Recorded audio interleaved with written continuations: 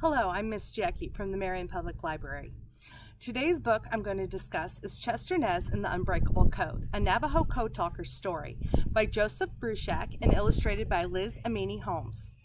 Chester Nez and the Unbreakable Code is a nonfiction picture book geared towards second through fifth grade students. Chester was forced to learn the ways of the white men, but he still held on to his Navajo roots. Holding on to his roots enabled him to help to create a code that was unbreakable. This code helped us win World War II. It is a fascinating book based on a true story and it is available through the Metro Library System. Have a great day. Bye.